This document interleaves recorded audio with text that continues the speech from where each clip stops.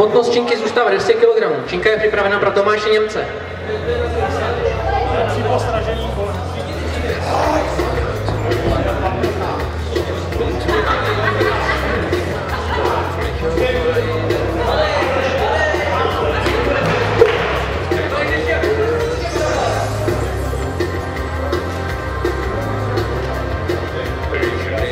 Schicksal.